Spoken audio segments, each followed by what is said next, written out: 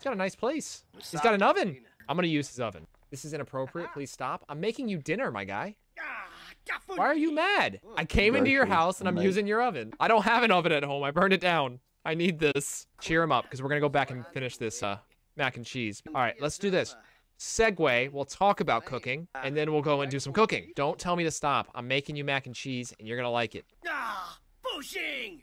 He is so mad. Hey, once he tries this mac and cheese, we're gonna be the best of friends. He's going to bed now? You are rude, my friend. I cooked him dinner in his home, and he just goes straight to bed. He yelled at me to stop twice. I invited him to a meal, and he went to bed. You know what? Fuck you.